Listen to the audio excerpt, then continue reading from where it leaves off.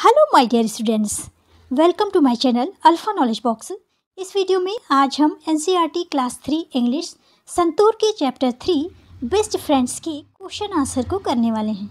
अगर अभी तक आपने इस चैप्टर की एक्सप्लेनेशन वीडियो को फन विद फ्रेंड्स की वीडियो को चैप्टर वन की वीडियो को और चैप्टर टू की वीडियोज़ को नहीं देखा है तो इन सभी वीडियोज़ की लिंक आपको इसी वीडियो के डिस्क्रिप्शन बॉक्स में मिल जाएगी या फिर चैनल के playlist class three English Santoor से इन वीडियोस को देख सकते हैं।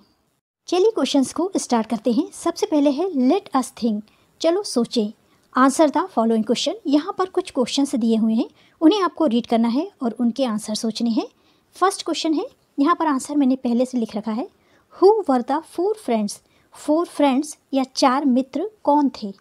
फोर फ्रेंड्स थे rectangle circle square and triangle इसलिए आंसर हो जाएगा the four friends were circle, square, triangle and rectangle. Second question है वाई वर दे फाइटिंग वो फाइटिंग क्यों कर रहे थे? वो लड़ाई क्यों कर रहे थे? वो लड़ाई इसलिए कर रहे थे क्योंकि उनमें से सभी ये कह रहा था कि मैं बेस्ट हूँ, मैं सबसे अच्छा हूँ।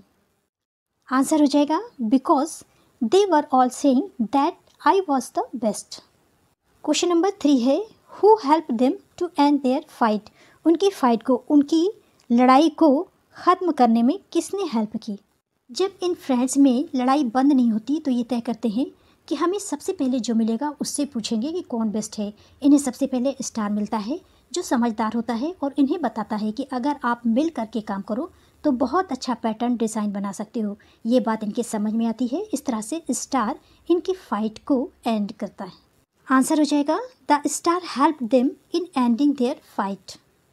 Question number four है what lesson did the friends learn in the end अंत में इन फ्रेंड्स को क्या शिक्षा मिलती है, ये क्या सीखते हैं? अंत में इन फ्रेंड्स को ये रियलाइज़ होता है कि वो गलत थे, वो मिस्टेक कर रहे थे। अगर वो मिल कर के काम करें तो वंडर्स क्रिएट कर सकते हैं, यानी आश्चर्यचकित कर देने वाले डिज़ाइंस पैटर्न्स बना सकते हैं। आंसर हो जाएगा the friends learn the lesson that together they can create wonders question number five है, write T for true and F for false. True के लिए टी लिखिए और फॉल्स के लिए एफ़ लिखिए। फ़र्स्ट ट्रू फॉल्स है, the circle does not have sharp edges. Circle के शार्प एजेस नहीं होती हैं, नुकीली एजेस नहीं होती हैं। ये ट्रू स्टेटमेंट है क्योंकि सर्कल में कहीं पर कोई भी एज नहीं है, जबकि रेक्टेंगल में फोर एजेस हैं कॉर्नर पर, स्क्वायर में फोर एजेस हैं कॉर्नर पर और ट्राइंगल में थ्री एजेस हैं कॉर्नर पर। इस तरह से ये ट्रू स्टेटमेंट है।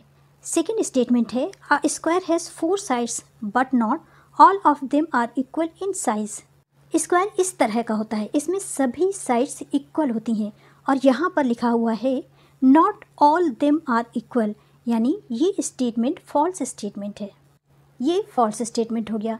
तीसरा स्टेटमेंट है the triangle has two sides triangle की टू साइड्स होती हैं ट्राइंगल की टू साइड्स नहीं होती हैं ट्राइंगल कुछ इस तरह का होता है और इसमें थ्री साइड्स होती हैं। इसलिए ये फॉल्स स्टेटमेंट है।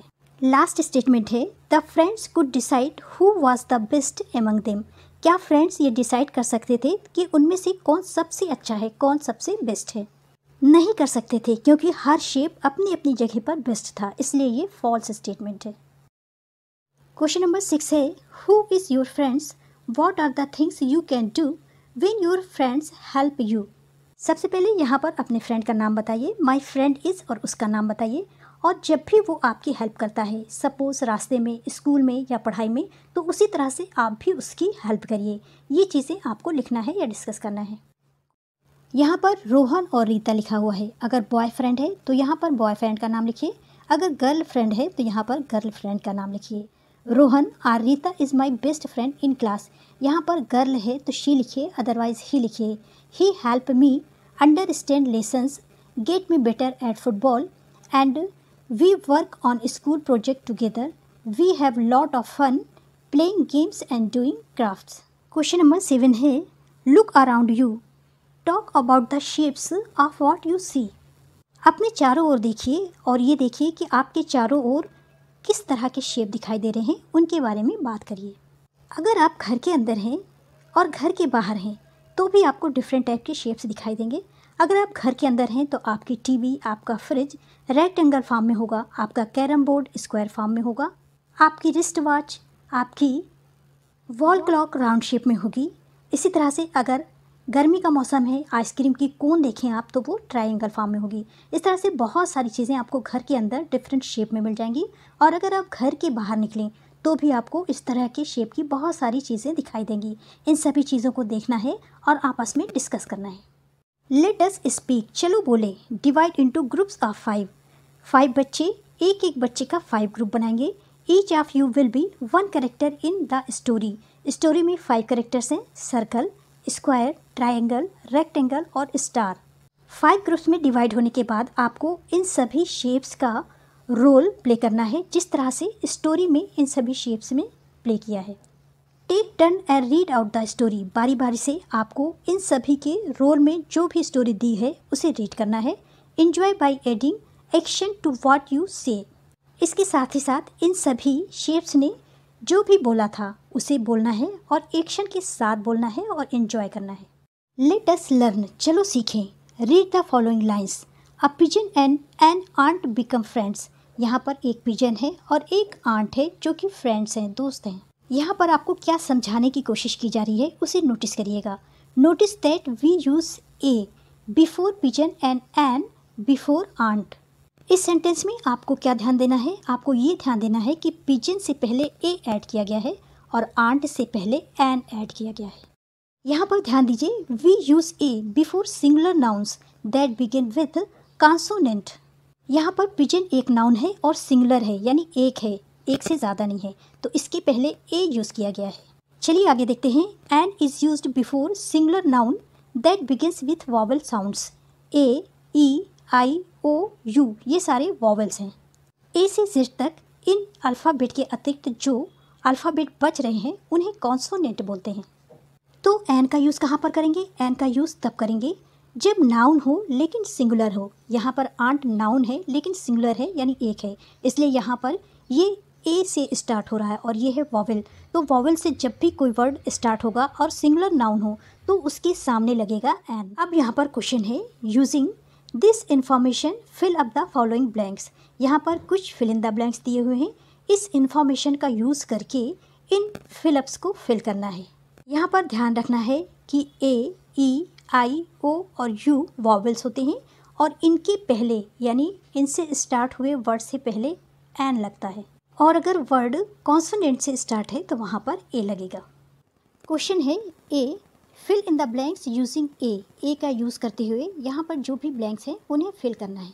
First fill in the blanks है blank dog is barking at the postman कुत्ता पोस्टमैन पर भोगता है। यहाँ पर डॉग वर्ड है और ये स्टार्ट है डी से, जो कि कॉन्सोनेंट है, इसलिए यहाँ पर लगेगा ए कंप्लीट सेंटेंस हो जाएगा a dog is barking at the postman second fill in the blank से my mother gives chapatis to blank space cow every day मेरी माँ हर दिन एक गाय को चपातियाँ देती है। यहाँ पर काउ का फ़र्स्ट लेटर अल्फ़ाबेट जो है, वो है कॉन्सोनेंट इसलिए यहाँ पर भी हो जाएगा आ काउ यहाँ पर सभी सेंटेंसेस में यही लगेगा, क्योंकि क्वेश्चन में बोला गया है। लेकिन समझना ज़रूरी है कि ए क्यों लग रहा है। यहाँ पर भी स्पैरो का एस कॉन्सोनेंट है, इसलिए यहाँ पर भी ए लगेगा। B fill in the blanks है। Fill in the blanks using an यहाँ पर अब आपको एन का यूज़ करना है।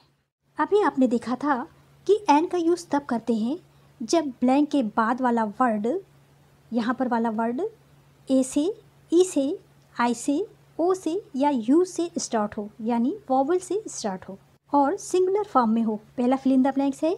आई सा ब्लैंक स्पेस ईगल यस्टरडे यहाँ पर ईगल में ई है, इसलिए यहाँ पर हो जाएगा एन इसी तरह से सभी सेंटेंसेस में एन हो जाएगा, क्योंकि यहाँ पर अम्ब्रेला है और अम्ब्रेला यू से स्टार्ट है आइसक्रीम है और ये आई से स्टार्ट है। इसलिए फ़र्स्ट स्टेटमेंट हो जाएगा I an eagle yesterday second Maya bought an umbrella for the monsoon और लास्ट हो जाएगा an ice cream man bring his cart in the evening C fill in the blanks है। Fill in the blanks using a और an यहाँ पर अब आपको ध्यान देना है कि कहाँ पर ए यूज़ करना है और कहाँ पर एन यूज़ करना है। फ़र्स्ट स्टेटमेंट या सेंटेंस है blank space brown hen laid blank space egg यहाँ पर ए इसलिए लिखा है क्योंकि ब्राउन में बी कॉन्सोनेंट है और यहाँ पर एन इसलिए लिखा है क्योंकि एग में ई e वोवेल है। सेकेंड सेंटेंस में ईगल में ई वोवेल है और बिल्डिंग में बी कॉन्सोनेंट है, इसलिए ईगल के पहले एन होगा और बिल्डिंग के पहले ए होगा। कंप्लीट सेंटेंस हो जाएगा an eagle sat on a building last sentence हो जाएगा Mary ate an apricot a chikoo and an orange यहाँ पर एन इसलिए लगेगा क्योंकि यहाँ पर ए वॉवल है। यहाँ पर ए लगेगा क्योंकि चीकू में सी कॉन्सोनेंट है और ऑरेंज में ओ वॉवल है, इसलिए यहाँ पर एन लगेगा। अगली हेडिंग है लेट अस राइट चलिए लिखें। एक क्वेश्चन है paste a picture of your friend ये एक फ़ोटो फ्रेम है, यहाँ पर आपको सेंटर में अपने फ्रेंड की पिक्चर को पेस्ट करना है। कुछ इस तरह से आपका जो भी फ्रेंड हो और उसकी जो भी फ़ोटो अवेलेबल हो, उसे इस तरह से पेस्ट करना है। लेटेस्ट राइट में बी क्वेश्चन है write a few lines about your friend by filling in the blanks यहाँ पर माई फ्रेंड यानी अपने फ्रेंड के बारे में आपको लिखना है। यहाँ पर कुछ सेंटेंसेस दिए हुए हैं। इन्हीं के अकॉर्डिंग इन्हें फिल करके आपको इसे कंप्लीट करना है। फ़र्स्ट सेंटेंस है my friend name is Arun Anita यहाँ पर जो भी आपके फ्रेंड का नाम है बॉयज़ है या गर्ल उसे लिखेगा।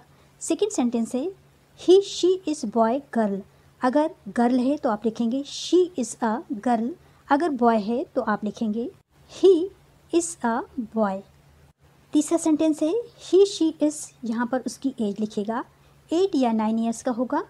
ईयर्स ओल्ड अगर बॉय है तो आप लिखेंगे he is eight or nine years old और अगर गर्ल्स है तो आप लिखेंगे she is eight or nine years old इसी तरह से आपको उसका फेवरेट कलर बताना है। यहाँ पर मैंने ब्लू लिखा है।